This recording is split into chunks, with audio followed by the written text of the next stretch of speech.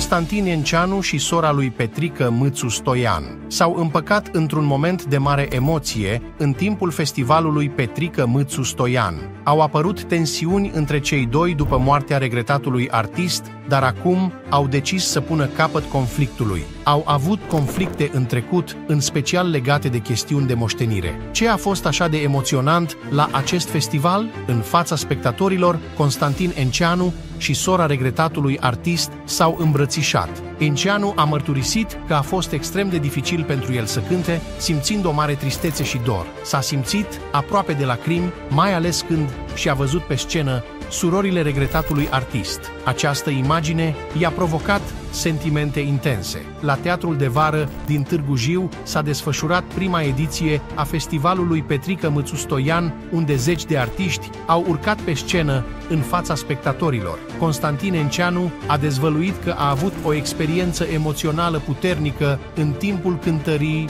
sale la festival. Înainte de a interpreta o piesă dedicată lui Petrică Mățu Stoian, s-a temut că va uita versurile cântecului, având impresia că regretatul artist îl privește de sus, de pe meleagurile cerului. A fost emoționant, a trebuit să cânt piesa ce i-am dedicat-o după ce a plecat dintre noi, mă uitam la cer și mă rugam la Dumnezeu să pot să mă stăpânesc, să nu-mi dea lacrimile și să cânt melodia până la sfârșit. Mai ales când am văzut surorile lui în sală, mulți prieteni de suflet ai lui Petrică. Dumnezeu m-a ajutat să duc melodia până la sfârșit, această melodie, dar cu lacrimi în ochii. Mă gândeam că nu cumva să uit versurile, pentru că eram în permanență cu gândul că ne vede de sus, din ceruri și să nu-l facem de râs. Spectacolul nu a fost o șușă, a fost de o înaltă ținută. Toți colegii mei s-au prezentat extraordinar, orchestra condusă de maestrul Blondea și de Chirițoiu, ireproșabil sunetul, nu am ce să reproșez.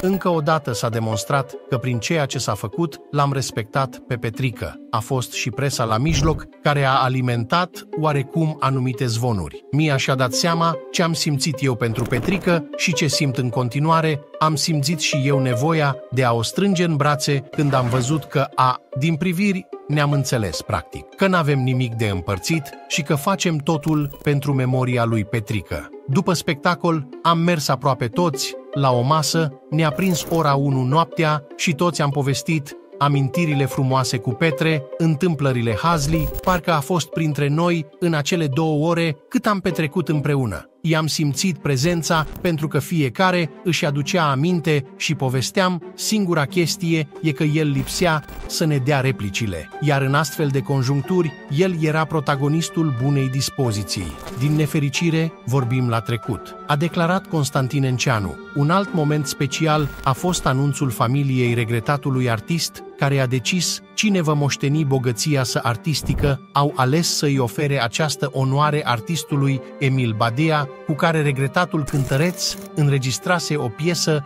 în satul său natal. Vreau să mulțumesc familiei regretatului Petrică Mâțu Stoian pentru încrederea acordată de a fi eu cel care va administra în mod exclusiv moștenirea culturală lăsată de marele artist. Este o onoare deosebită, dar în același timp o mare responsabilitate